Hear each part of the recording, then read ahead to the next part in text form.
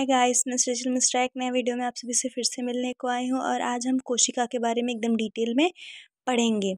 आप सबसे पहले ये जान जाइए कि कोशिका कोशिका होती क्या है? तो कोशिका हमारे शरीर की आधारभूत और सूक्ष्मतम इकाई है, ठीक है? हमारे शरीर की क्या है कोशिका? आधारभूत और सूक्ष्मतम इकाई है। बिना कोशिका के हमारे शरीर का निर्माण संभव नहीं है। कोशिका कोशिका की खोज किसने की थी? सन सोलह सौ पैंसठ ईस्वी में रॉबर्ट हुक ने कोशिका की खोज की थी। इन्होंने प्याज की जो अनुप्रस्थ काट का छिलका होता है, उसी में, उसी पे क्या देखा इन्होंने कि इन्होंने मधुमक्खी के छत्ते जैसे इन्हें गोल गोल से उंगली के अंगूठे की की छापा की तरह इन्हें दिखाई दिए। जिनको इन्होंने किसका नाम दे दिया? कोशिका का नाम दे दिया। इन्होंने कार्क पे देखा था, ठीक है? तो उसको कोशिका का नाम दे दे दिया, लेकिन इन्होंने जिस कोशिका की खोज की थी सन सोलह सौ पैंसठ ईस्वी में, वह एक मृत कोशिका थी। इसके बाद जर्मनी के वैज्ञानिक, ठीक है? एंटोनी वॉन लिविंग हॉक ने जीवित कोशिका की खोज की। इन्होंने किस कोशिका की खोज की? एंटोनी वॉन लिवन हॉक ने इन्होंने जीवित कोशिका की खोज, जो किसकी थी? माइकोप्लाज्मा की। और रेड ब्लड सेल्स में इन्होंने क्या देखा? छोटे छोटे बिम्बाणु ने दिखाई दे, जिसको इन्होंने कोशिका का नाम दिया। आई होप आप सभी को इतना समझ में आ गया होगा। कोशिका क्या है? कोशिका हमारे जीवन की सबसे आधारभूत इकाई है। बिना कोशिका के हम अपने जीवन की कल्पना भी नहीं कर सकते। जिस प्रकार घर बनाने के लिए हमें ईट की आवश्यकता होती है, उसी प्रकार हमारे शरीर बनाने के लिए हमें एक कोशिका की आवश्यकता होती है। ठीक है? कोशिका का सिद्धांत दो वैज्ञानिक स्लाइडिन एवं श्वान ने दिया है। ठीक है? स्लाइडिन और श्वान का यही सिद्धांत था कि जिस प्रकार एक घर बनाने के लिए ईंट की आवश्यकता होती है, उसी प्रकार हमारे शरीर के निर्माण के लिए कोशिका की आवश्यकता होती है। यहाँ पर हम ईंट को कोशिका से ले सकते हैं और ढेर सारे जब ईंट मिलते हैं तो किसका निर्माण होता है? एक दीवार का। तो उसी प्रकार जब ढेर सारी कोशिका एक साथ, एक एक प्रकार की संयोजी कोशिका कोशिका एक साथ मिलेंगी तो किसका निर्माण होगा? एक दीवार अर्थात एक किसका निर्माण होगा? उत्तक का निर्माण होगा, ठीक है? और जब दो तीन दीवार साथ में हो जाएँगी तो क्या बनेगा? एक कमरा बनेगा। तो उसी प्रकार जब ढेर सारे संयोजियों तक एक साथ अभिक्रिया करेंगे या फिर एक साथ मिल जाएँगे तो एक एक किसका निर्माण होगा? अंग। जैसे कि उस अंग में हम किसी चीज़ को ले सकते हैं, जैसे हो गया हमारा अग्नाशय हो गया और हमारा यकृत हो गया, जैसे कोई भी अंग हो सकता है का निर्माण होगा। और जब ढेर सारे कमरे को एक साथ में मिला देंगे तो क्या बनेगा? घर। तो उसी प्रकार जब ढेर सारे अंग को साथ में मिला देंगे तो हमारा शरीर बन जाएगा। आई होप आप सभी को इतना समझ में आ गया होगा। अब हम आपको आगे का भी बताते हैं, ठीक है? कोशिका के मुख्य भाग। कोशिका में निम्न तीन भाग होते हैं। एक तो होती है कोशिका झिल्ली, दूसरा कोशिका द्रव और तीसरा केंद्रक। वैसे तो बहुत भाग है, लेकिन ये तीन भाग सबसे ज़्यादा इंपॉर्टेंट है। तो हम सबसे पहले कोशिका झिल्ली पढ़ते हैं।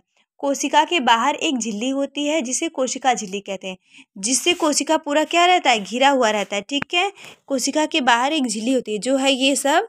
ये क्या है? कोशिका के बाहर की झिल्ली है जिसके कारण यह घिरा हुआ होता है। इसी को हम क्या कहते हैं? कोशिका झिल्ली कहते हैं, ठीक है? और कोशिका झिल्ली कहते हैं, यह दोहरी दीवार की होती है, डेनिल ने बताया, जो डेनल थे, सॉरी, डेनस ने बताया कि प्लाज्मा झिल्ली में अच्छी तरह मात्रा में प्रोटीन के अतिरिक्त ग्लोबल प्रोटीन के अतिरिक्त ग्लोबल प्रोटीन होते हैं, ठीक है? मतलब तो प्रोटीन के अतिरिक्त इसमें ग्लोबल प्रोटीन भी होते हैं, जो ये सब होता है कोशिका के ऊपरी भाग। इसमें पूरा प्रोटीन भरा रहता है, ये तो हो गई हमारी कोशिका झिल्ली। अब सेकेंड भाग क्या होता है हमारा? कोशिका द्रव्य। द्रव्य मतलब कोई तरल पदार्थ। कोशिका में हमारे निम्न दो प्रकार के द्रव पाए जाते हैं। एक कोशिका द्रव, जो कोशिका द्रव्य होता है, वो पूरी कोशिका में हमारे भरा रहता है। समझ में आ रहा है आप सभी को ना? जो कोशिका द्रव्य होता है, वो हमारी पूरी कोशिका में भरा रहता है। और दूसरा कौन सा द्रव पाया जाता है? केंद्रक द्रव्य। ये हमारा क्या है? न्यूक्लियस, जिसको केंद्रक कहते हैं। केंद्रक द्रव्य।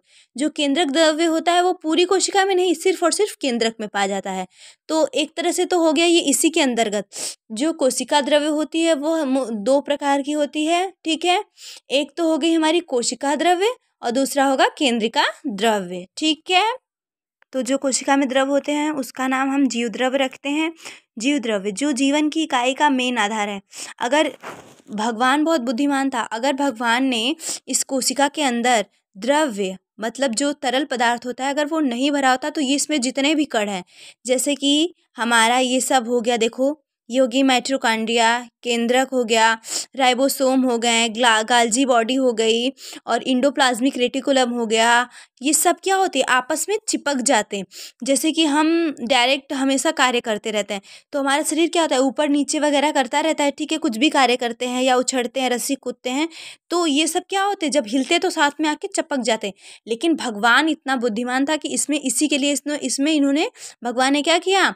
जीव द्रव्य, जिसे इंग्लिश में प्रोटोप्लास्ट में कहते हैं, पूरे कोशिका में उसने भर दिया ताकि ये सब एक साथ चिपके ना। और वो क्या है, गाढ़ा तरल पदार्थ था, ठीक है? गाढ़े तरल पदार्थ से एक सारी कोशिका के अंदर हमारे भर दिया, जिससे कि ये सब चिपके ना, ठीक है? आप अब तक इतना तो जान गए, कोशिका द्रव्य, सॉरी, जीव द्रव्य, ये दो प्रकार के होते हैं। एक तो हो गया कोशिका द्रव्य, जिसको साइटोप्लास्ट कहते हैं, और दूसरा हो गया केंद्रिका द्रव्य, जिसको इंडोप्लाज्मिक रेटिकुलम, जो अंदर प्रदविदा लिखा होती है ई आर ये सब सब कुछ हम आपको एकदम डिटेल में भी पढ़ाएँगे। तो अभी हमारा इतना सॉर्ट आउट हो गया, ठीक है?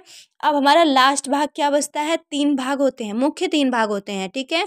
उसके बाद भी बहुत सारे पार्ट होते हैं, लेकिन उस सभी की व्याख्या हम मतलब सॉरी उस सभी को हम बाद में पढ़ाएँगे। सबसे पहले इन तीन पार्ट को आप अच्छे से जान जान जाइए, उसके बाद हम बाकी के पार्ट को भी आप सभी को बताने की कोशिश करेंगे। न्यूक्लियस अर्थात केंद्रक। केंद्रक क्या होता है? अच्छा आप सोचिए, केंद्रक मतलब केंद्रक का कार्य क्या होता है? आप ये एकदम डिटेल में जानिए कि केंद्रक के अभाव में कोशिका की कल्पना करना भी असंभव है। समझ में आए तो केंद्रक बहुत बड़ा, बहुत अहम भूमिका निभाता है हमारी कोशिका के ज़रिए। जैसे सब लोग पेरेंट्स का पता लगाते हैं, जो बोलते हैं ना डीएनए मैच करा ना तो उसका मेन कारण जिन्हें जो होता है जिन्हें में, जो पीढ़ी दर पीढ़ी एक दूसरे से श्रावित मतलब एक पीढ़ी से दूसरी पीढ़ी में जिसका श्रावण होता है, वो जि, जिसको जीन्स बोलते हैं, जो गुड़सूत्र होते हैं, ठीक है? तो उसका मेन कार्य मेन चीज़ वो किसमें रहती है? हमारे डी इसमें रहती है, क्या? हमारे केंद्रक में पाया जाता है, ठीक है? अगर केंद्रक ना हो तो हम कभी ये पता नहीं लगा सकते कि कौन किसके माता पिता हैं वगैरह वगैरह, जो सब भी पता लगाते हैं गुड़सूत्र के ज़रिए सब लोग डीएनए मैच कराते हैं तो ये नहीं हो पाएगा, ठीक है? अब तो हम केंद्र के बारे में भी लमसम जान गए हैं। आपको हम ये बता दें, कोशिका का व्यास कितना होता है? ज़ीरो पॉइंट फाइव मैक्रो से twenty point twenty point zero माइक्रोवैस की कोशिका होती है। कोशिका का व्यास मतलब लंबाई कितनी होती है? ज़ीरो पॉइंट फाइव मैक्रो से ठीक है ज़ीरो पॉइंट फाइव मैक्रो से ट्वेंटी पॉइंट ज़ीरो माइक्रो वैस की हमारी कोशिका होती है। आई होप आप कोशिका के बारे में इतना जान गए होंगे। कोशिका के भाग, कोशिका का इतिहास सब हमने आपको बता दिया कि किसने कैसे कि कोशिका की खोज की थी। अब हम कोशिका कोशिका में हमारी तीन तो मुख्य भाग जो पाए जाते हैं, उसकी व्याख्या तो हमने मतलब सॉरी उसको तो हमने एकदम अच्छे से पढ़ लिया। लेकिन अब हम क्या पढ़ेंगे? कोशिका में उसके अलावा भी बहुत सारे पदार्थ पाए जाते हैं। जैसे कि ये देखिए हमारा, ये क्या है? राइबोसोम, ये क्या है हमारी? माइट्रोकांडिया न्यूक्लियस के बारे में हम आप सभी को बता चुके हैं, ठीक है? ये क्या है हमारा? क्या है? इन्वोलोप गोल्जी बॉडी, जो गोल्जी बॉडी होती है, ठीक है? जो एक समय से दूसरे जगह सामान पहुंचाती है। ये तो न्यूक्लियस है, ये सब आप सभी जानते ही हैं। और ये क्या है हमारा? ई आर इंडोप्लाज्मिक रेटिकुलर जिसको बोलते हैं अंतर प्रदवी जालिका, ठीक है? और ये हमारा क्या हो गया? ये जो बड़ा सा इसको क्या कहेंगे? इसके भारी का जो पदार्थ है इसको क्या कहेंगे? वैक्यूल जिसको बोलते हैं रसधानियाँ ठीक है? और ये क्या है हमारा? सेल मेम्ब्रेन कोशिका का मस्तिष्क जो बाहरी भाग है वो ठीक है? तो अब हम आप सभी को एकदम डिटेल में एक एक चीज़ के बारे में एकदम अच्छे से बताते हैं ठीक है? सबसे पहले हम कहाँ से स्टार्ट करेंगे? राइबोसोम से ठीक है? सो so, हम राइबोसोम की चर्चा कर रहे थे। सॉरी गाइस हमने आपको पहले ही नहीं बताया कोशिका के प्रकार। हमने सब कुछ बताया प्रकार ही बताना भूल गया इसलिए आई एम सॉरी सो हम कोशिका के आपको प्रकार भी बताते हैं। कोशिका निम्न दो प्रकार की होती है। एक तो होती है प्रोकैरियोटिक और सेकंड होती है यूकैरियोटिक। जो प्रोकैरियोटिक कोशिका होती हैं, वो छोटे छोटे जो जीवाणु होते हैं, जैसे कि माइकोप्लाज्मा हो गया और जो छोटे छोटे पेड़ वगैरह होते हैं, उनमें पाई जाती है। और जो यूकैरियोटिक कोशिका है, वो हम सभी में मतलब जो जीवित प्राणी हैं वगैरह में पाई जाती है। ठीक है, हमारी कोशिका किसकी बनी होती है? हमारे शरीर की कोशिका सेल्यूलोज की नहीं बनी होती। जो हम कपड़े वगैरह पहनते हैं, वो सेल्यूलोज का होता है। जो पेड़ पौधों की कोशिका होती है, वो सेल्यूलोज की बनी होती है, ठीक है? हम अब राइबोसोम के बारे में पढ़ रहे थे, ठीक है? आप सभी को बताया हमने। राइबोसोम की खोज पैलाडे ने सन उन्नीस ईस्वी में जीवद्रव के कड़ों में देखा था। कहाँ पे देखा? जो जीवद्रव मतलब जीवद्रव आप जानते हैं ना? जो हमने आपको पहले ही बताया कि कोशिका में द्रव्य जो पाए जाते हैं, उन्हीं को जीव द्रव्य कहते हैं। जीव द्रव्य दो प्रकार के होते हैं, एक तो हो गया हमारा यहाँ का केंद्रिका द्रव्य और दूसरा जो पूरे कोशिका में है, उसको कोशिका द्रव्य। तो दो प्रकार के जीव द्रव्य होता है तो उसी में इन्होंने उसको किसको देखा? राइबोसोम के कड़ों को तैरते हुए देखा, ठीक है? न्यूक्लिक अम्ल की मात्रा बहुत अधिक थी। उन्होंने इसमें देखा कि न्यूक्लिक अम्ल की मात्रा अधिक थी जो, जिसके कारण इन्होंने इसको देखा, ठीक है? और जो ये होता है हमारा राइबोसोम, इसका मुख्य काम क्या होता है? यह प्रोटीन का संश्लेषण करता है। और क्रोमोसोम में पाए जाने वाले डीएनए के न्यूक्लिक टाइड प्रोटीन बनाने के लिए कोड के रूप में कार्य करता है, ठीक है? और इसका मतलब इसको क्या कहते हैं? राइबोसोम मेन चीज़ क्या करता है? प्रोटीन का संश्लेषण करता है।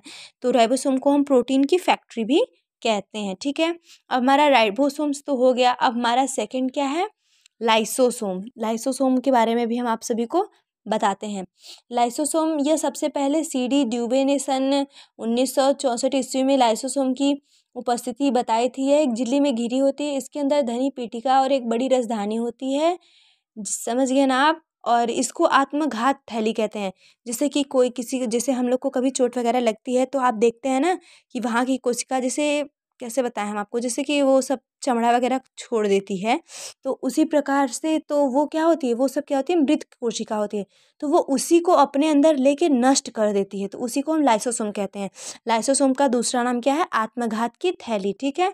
ये अपने आप को जितने डेड सेल्स होते हैं, सभी का खत्मा कर देती है। सो आपको ये भी समझ में आ गया, अब हम अगला पढ़ेंगे क्या? माइट्रो कांड्रिया, जो यहाँ पे हमारा माइट्रोकांड्रिया, ठीक है, जिसको बोलते हैं सूत्र कड़िका भी बोलते हैं, ठीक है? देखिए, अब इसके बारे में जानते हैं। कोलिकर ने सन 1880 ईस्वी में माइट्रोकांडिया को कीटों की पेशी से अलग किया। जीवाणु और नीलहरे शैवाल की कोशिकाओं के अतिरिक्त पेड़ पौधों तथा तो प्राणियों में लगभग सभी जीवित कोशिका में माइट्रोकांडिया मिलता है। समझ में आया कहाँ कहाँ पे? शैवाल में मिलता है, पेड़ पौधों में मिलता है और हम सब में भी सब जगह माइट्रोकांडिया पाया जाता है। इसमें लिपिड राइबोसोम प्रोटीन डीएनए मिलते हैं, जो माइट्रोकांडिया है, इसमें क्या होता है? लिपिड प्रोटीन राइबोसोम्स सब कुछ मिलते हैं। माइट्रोकांडिया के अंदर एक दो सतह होती है, जिसके बाहरी सतह को क्या कहते हैं? सेंटोसोम सी फेस कहते हैं, और अंदर के एम फेस कहते हैं, ठीक है? जो माइट्रोकांडिया है, इसके बाहर, देखिए जो बाहर है, इसको क्या कहेंगे? सी फेस और जो अंदर है उसको क्या कहेंगे? एम फेस, ठीक है? आप सभी को समझ में आ गया? अब हम माइट्रोकांडिया का कार्य जानते हैं।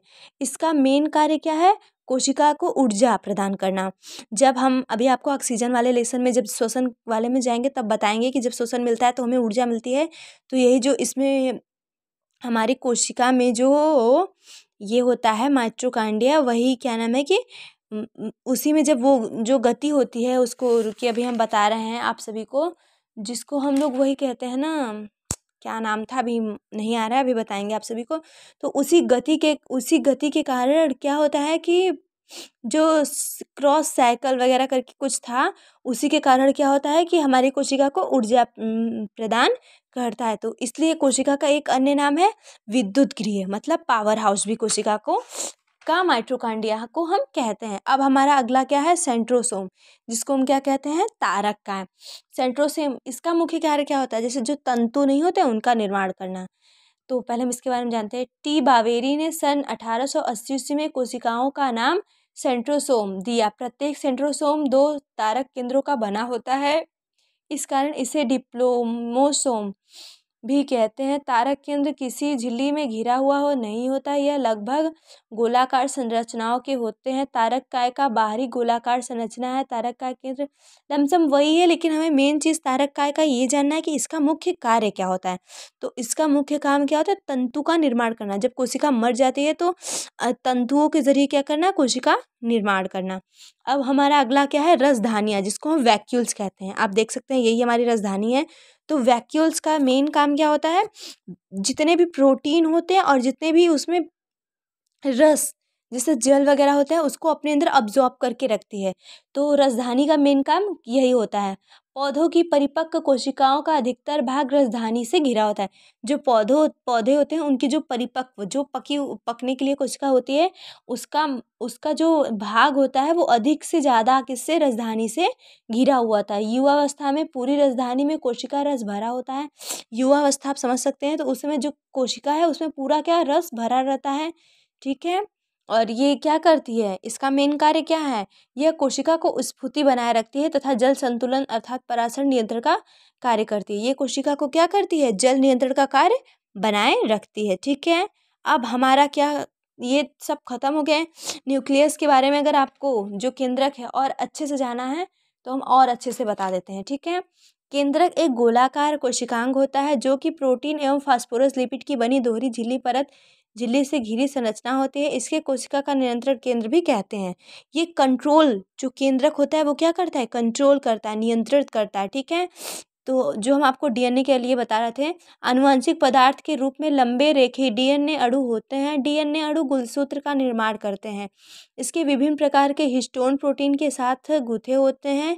इन गुणसूत्रों पर जीन होता है, जिन, जिन्हें कोशिका की जीनोमन कहते हैं, जिसके ज़रिए हम क्या पता करते हैं? जिसके ज़रिए हम पता करते हैं कौन किसका बच्चा है, ठीक है? ब्रेन जो होता है गुणसूत्र एक्स एक्स एक्स, वाई, उसी से पता करते हैं ना? तो वही, और इसको, इसका मेन काम क्या हो, इसको क्या कहा जाता है? इसको कोशिका का क्या कहा जाता है? मस्तिष्क मस्तिष्क मतलब उसको नियंत्रित करता है, ठीक है? केंद्रक में भी अनेक भाग होते हैं, जैसे कि केंद्रक आवरण। केंद्रक आवरण जो बाहरी जिससे केंद्रक ढका हुआ है, इसको केंद्रक आवरण कहते हैं। सेकेंड होता है केंद्रिका द्रव्य, जिसको हमने आपको पहले बताया था। केंद्रिका द्रव्य और क्रोमेटिन पदार्थ इसमें होते हैं। मतलब बहुत सारी चीज़ होते हैं केंद्रक में, लेकिन आपको इतना जान गए तो ये इतना इंपॉर्टेंट है। आप केंद्रक के कार्य आप जान जाइए। यह कोशिका के लगभग सभी जैविक कार्यों का नियंत्रण करता है। यह आनुवांशिक सूचनाओं की कोटिंग करता है जो जीवधारियों के आनुवांशिक लक्षणों को प्रसारित करते हैं। ठीक है? और ये अगला है, यह प्रजन में प्रत्यक्ष रूप से अंतर स्थापना करता है। सही बात। जब प्रजनन के टाइम क्या होता है? जो जीनोमन होता है वो पीढ़ी दर पीढ़ी के लिए पिता से बच्चे, होने वाले बच्चे में डालने का कार्य, ये मतलब भेजने का कार्य करता है, ठीक है? अब हम कोशिका विभाजन के चरण को भी जान जाते हैं। कोशिका में क्या होता है? कोशिका में विभाजन। अभी कोशिका विभाजन हमारे सॉरी, अभी हम आपको गोल्जी बॉडी के बारे में तो बताया ही नहीं। जो गोल्जी बॉडी होती है एक जगह से दूसरे जगह हर एक चीज़ को पहुँचाने का कार्य किसका होता है? गोल्जी बॉडी का होता है, ठीक है? हाँ तो आप सब समझ गए। अब हम कोशिका विभाजन पे चल रहे थे ना, कोशिका में कितने विभाजन होते हैं? तीन प्रकार के विभाजन होते हैं। एक होता है सूत्री विभाजन, दूसरा होता है असूत्री विभाजन और तीसरा होता है अर्धसूत्री विभाजन। जो सू, सूत्री विभाजन होता है, वो टूटी फूटी कोशिकाओं के स्थान पर नई कोशिका का निर्माण करता है। ठीक है? सूत्री विभाजन जो होता है, वो क्या होता है? टूटी फूटी कोशिकाओं के स्थान पर नई कोशिका बनाता है। जैसे चोट वगैरह लगी तो नई कोशिका का निर्माण करता है। लेकिन जो असूत्री विभाजन होता है, वो क्या होता है? सिर्फ़ और सिर्फ़ ये क्या होता है? प्रजनन के टाइम होता है, ठीक है? आप सब समझ सकते हैं कि जब बच्चा होने वाला रहता है, उसी टाइम सिर्फ़ बाप से क्या होगा? माँ में जाएगा। सिर्फ़ उसी टाइम ये कहीं जाएगा और अन्यथा यह नहीं जाएगा। और अर्धसूत्री विभाजन जैसे कि आधा विभाजन जैसे आधा विभाजन होगा और आधा नहीं होगा, ठीक है? जो पहला हम बताया था सूती विभाजन, जैसे कि जो वो होते हैं, क्या बोलते हैं कीड़ा की पूँछ कीड़ा का बच्चा जो होता है वो सब देख लीजिए, और जो ये छिपकली होती है उसकी पूँछ कटती है तो देखते हैं आप, फिर वो जीती रहती है ना तो वही सब होता है कोशिका विभाजन में यही सब है। सो, आई होप आप सभी को ये पार्ट लमसम समझ में आई हुआ गया होगा कोशिका के बारे में। अगर हमसे कोई गलती हो गई तो प्लीज़ हमें सॉरी बोल रहे हैं क्षमा कर दीजिए क्योंकि अभी हम भी पढ़ाई कर रहे हैं।